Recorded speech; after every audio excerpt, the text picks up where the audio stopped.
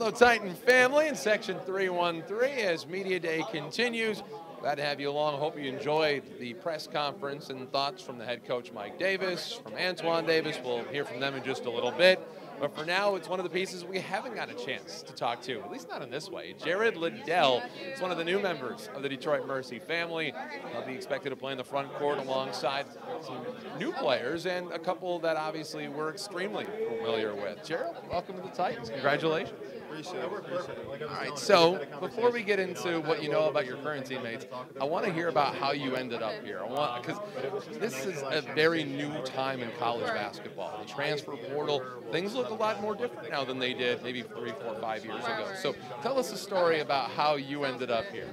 Yeah, so um, coming out of high school, I was one of you know top 50 recruits. So uh, I wanted to stay at home. Uh, I'm from Texas. I'm a Texas guy, so I ended up committing to Shaka Smart in Texas. Okay. Uh, I went there, didn't really go as planned. There was some injuries and stuff like that. that's going to be a fun Um, one. I decided to transfer out. coming off Uh, the I had top a real good relationship with uh, Mo Williams.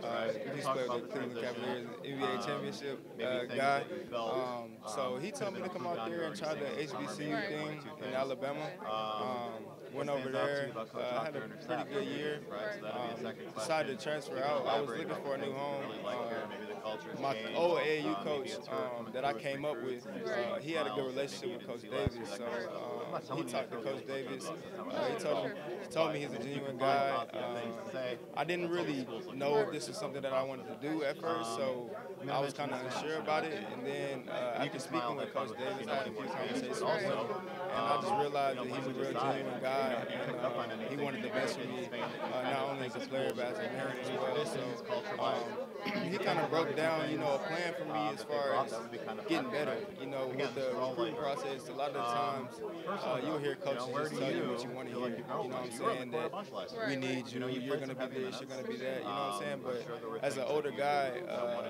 you know, I know how that goes. So Coach Davis didn't come at that angle at all. He told me, you know what I'm saying, you need to be putting in this amount of work, you need to be doing this, you need to be doing that, and I'm going to help you do that. You know what I'm saying? So I kind of gravitated towards Coach I Davis. actually changed Um, came out here on a Oh, visit. see, I'm glad we had this conversation. I know. I decided I'm I'm now doing health host here, service so administration. That's kind of how I ended up here. Yes. So she's in public. You know, now when you become somebody who's in the transfer portal, and you mentioned that there were some questions that you needed to have answered. What were those questions? Whether they be questions you asked yourself or maybe questions you asked somebody like Mike Davis? want to get my Uh, some of the questions that I asked Coach That's what I'm Davis was kind of where could he use me at, um, you know what I'm I'm saying, doing with the team, because I didn't know anything about the Horizon League. I didn't know anything about Detroit Mercy.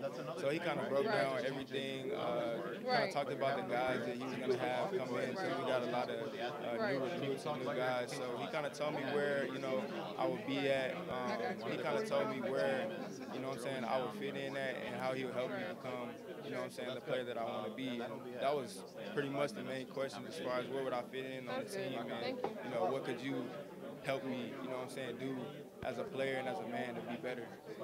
We're talking with Gerald Liddell. So, how do you fit? And I'm sure you've asked yourself this question too, alongside one of the best scorers in all of college basketball, and Antoine Davis.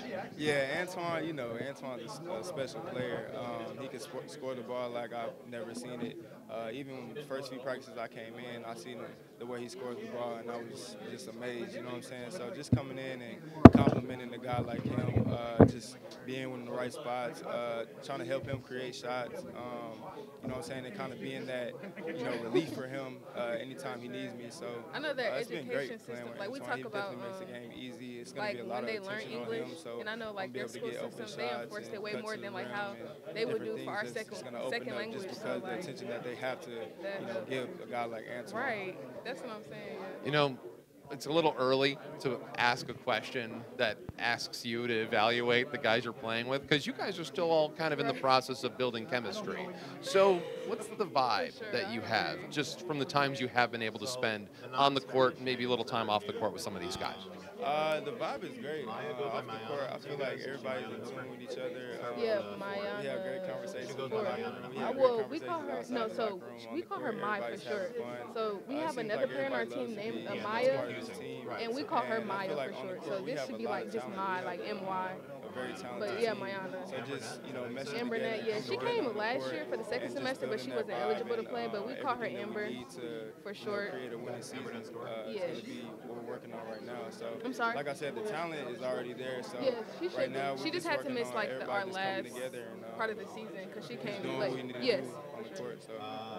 How excited are you Yes, to go up against people we that you're not going up against in practice short every as single day? Um, Nah, yeah, we're really excited yeah. because uh, we compete hard. Coach Davis really instills that in us. She's from Uh, Portugal, we practiced yeah, for a long time, and we worked Yeah, very yeah, yeah. hard.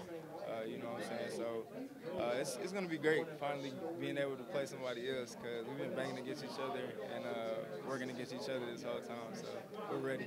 It's 21 days until the opener against Rochester College. Gerald Liddell, the new forward for this Detroit Mercy Titans team. Congratulations. Thank you very much for joining us and go get him this season. Yes, sir. Thank you. There's Gerald Liddell. Much more to come. Denny Cap will be back and join us next with another look inside women's basketball as Titans Media Day continues right after this.